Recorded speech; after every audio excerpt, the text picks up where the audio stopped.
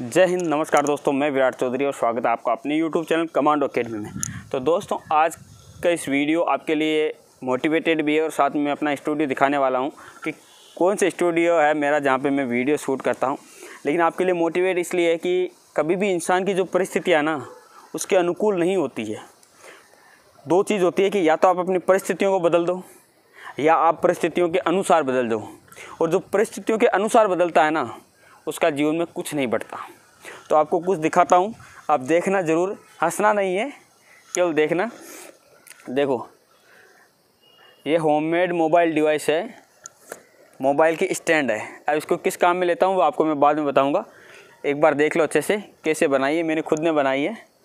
तो उससे पहले मैं आपको स्टूडियो दिखा देता हूँ। और आपको बताता हूँ कि आपको जो लगता है कि मैं वीडियो शूट करता हूँ, कहाँ शूट करता हूँ, कितनी दूर है, अब मैं आपको बताता हूँ इसके बारे में। दोस्तों देखो, ये मेरी वीडियो स्टैंड है, इधर। इस रस्से को मैं ऐसे करके कई बार ऊपर से अगर शूट करना हो तो इस रस्से को ऐसे रख के फिर इसके ऊपर मोबाइल रखता हूँ। ये ऐसे रहता है, फिर इसके ऊपर रखता हूँ मोबाइल। फिर ये पीछे का जो बैकग्राउंड आप देख रहे हो, ये बैकग्राउंड आता है। यहाँ पर मैं खड़ा होता हूँ और फिर मैं वीडियो शूट करता हूँ। यानी यहाँ पर मोबाइल रखता हूँ ऐसे तिरछा करके इस प्रकार से रस्से के ऊपर और फिर यहाँ से ये जो बैकग्राउंड है, ये देख रहे हो, यहाँ से वीडियो आता है। अब मैं आपको बताऊँ कि यहाँ से जो, जहाँ मैं रहता हूँ, वो दो किलोमीटर है। कितना किलोमीटर दो किलोमीटर क्योंकि मेरे पास में कोई स्टैंड नहीं है, कोई सुविधा नहीं है। स्टैंड ख़रीद के अगर हम कहीं खड़े होंगे तो कहीं स्टैंड नहीं है, कहीं कैंप भी आ रहा है। यहाँ पर कुछ कैंप वेम का कोई भी हिस्सा या कुछ नहीं आ रहा है, पीछे का बैकग्राउंड तो कैंप की आपको फ़ोटो वोटो नहीं शेयर कर सकते। तो मैं यहाँ पर वीडियो बनाने आता हूँ। कितना किलोमीटर है? दो किलोमीटर। आना जाना? चार किलोमीटर। यानी मैं भी एक दिन हर रोज़ वीडियो बनाने आता हूँ, दो किलोमीटर, वापस जाता हूँ, चार किलोमीटर। तो अगर चाहूँ तो परिस्थितियों से कोई मैं बोल रहा ना, परिस्थितियों से कोई भी हार सकता है। मैं भी हार सकता हूँ। इतना आसान तो नहीं है चार किलोमीटर आना जाना। साथ में मैं अपनी ड्यूटी भी करता हूँ, अपना काम है वो भी करता हूँ, सुबह ग्राउंड में रनिंग वनिंग भी करते हैं, इसके अलावा जो भी अदर काम है वो भी करते हैं। उसके अलावा मैं टाइम निकालता हूँ एक वीडियो बनाने के लिए। कम से कम मुझे दो से तीन घंटा, चार घंटा तक लगता है। यहाँ पर नहीं लगता, यहाँ पर दस, यहाँ पर तो आधे एक घंटे में दो तीन वीडियो शूट कर लेता हूँ, लेकिन उसके लिए पहले मैं देखता हूँ डिटेल्स निकालता हूँ, कुछ जो भी बुक्स है उनमें देखता हूँ या गूगल पे देखता हूँ, फिर वीडियो बनाता हूँ। तो उसमें भी तो टाइम लगता है। लेकिन इतना कुछ करने के बाद में फिर मेरे को कुछ लोग बोलते हैं कि, सर, आपके इतने व्यू क्यों आते हैं? कि आपके बहुत व्यू आते हैं, सर, आपके इतने ज़्यादा सब्सक्राइबर हो रहे हैं, बहुत अच्छा मतलब आपके वीडियो चलते हैं। उसके पीछे मेहनत भी है।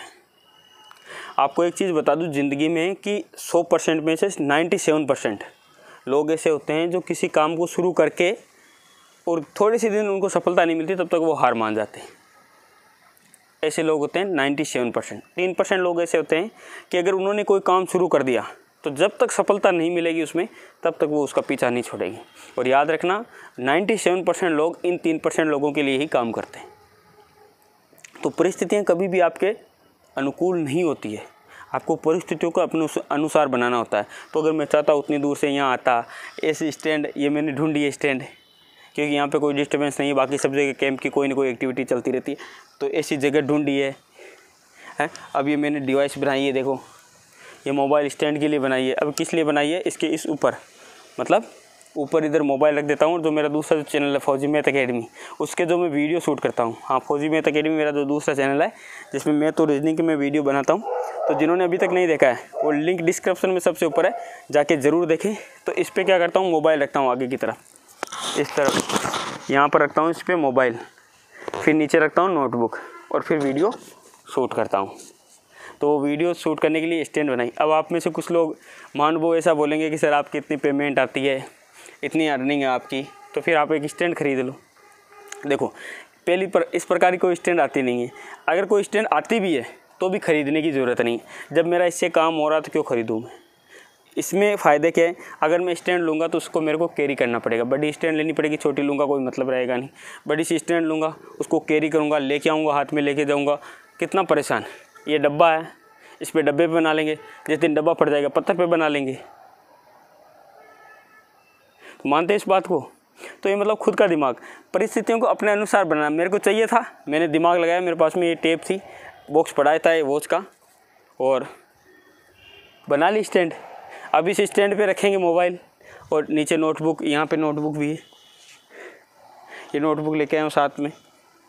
तो उसको रखेंगे नीचे और बैठ के वीडियो बनाएँगे आपके लिए अच्छे अच्छे तो इस प्रकार मैं कहने का मतलब ये है कि अगर हार मानो, अगर कमज़ोरियाँ किसी चीज़ में आप ढूंढोगे, अगर आप हार मानना सीख जाओगे ज़िंदगी में, परिस्थितियों के अनुसार बदलना सीख जाओगे तो कुछ नहीं, फिर कुछ नहीं पाओगे ज़िंदगी में।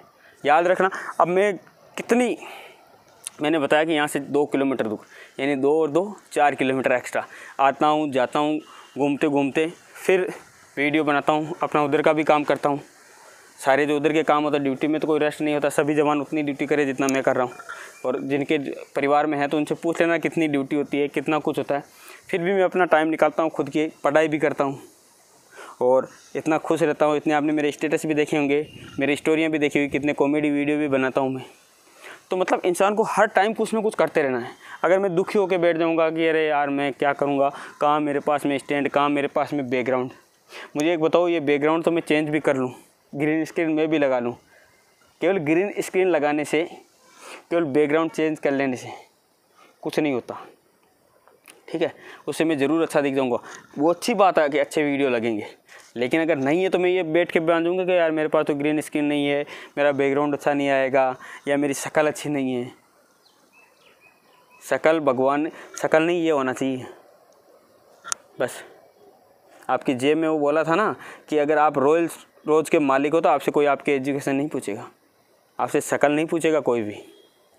नवाजुद्दीन सिद्दीकी कितना बड़ा एटर आपने देखा होगा। टैलेंट होना चाहिए बंदे में, शक्ल नहीं।